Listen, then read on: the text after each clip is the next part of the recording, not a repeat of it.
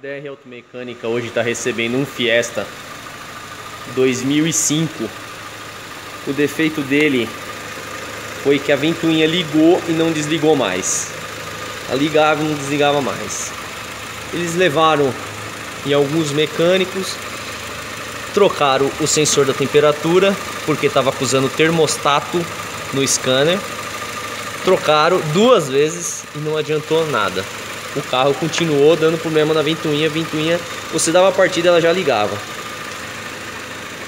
O que que era o defeito? O defeito era a válvula termostática. Normalmente a válvula termostática dá o defeito o seguinte, a válvula não abre, ela trava fechada. Mas nesse caso aqui não foi isso. Aqui chega um positivo e um negativo. O positivo estava vindo e o negativo estava encostado na massa do carro, estava dando terra. O que aconteceu? Essa válvula ficou aberta o tempo inteiro e acusava no scanner o código de falha termostato. Só que o pessoal acha, acha que o termostato é sensor de temperatura e não é, é a válvula termostática. A gente trocou a válvula termostática, o carro ficou muito bom, ó. já ligou a ventoinha, já desligou, funcionando perfeitamente. Nesses carros aqui é essencial você comprar válvula termostática original e colocar aditivo, ó. não usar aditivo, olha como é que fica. Não adianta você fazer o serviço e não colocar aditivo. Essa válvula, a pessoa falou para mim que faz uns 4 meses que trocou. E olha o jeito que ela já tá. Tem que pôr aditivo. Para que que funciona essa válvula elétrica?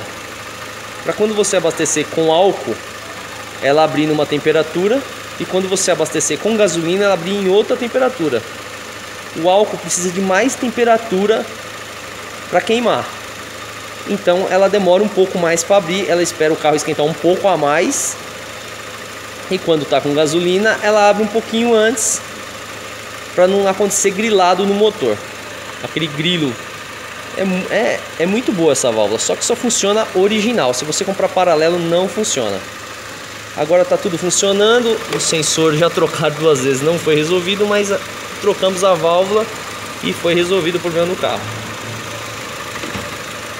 Agora a gente vai fazer uma limpeza no radiador novamente, porque continua sujo.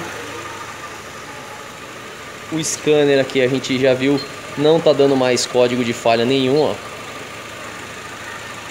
Não sei se vocês vão conseguir ver aí, mas não aparece mais código de falha. A luz ficava acesa, agora ela não acende mais.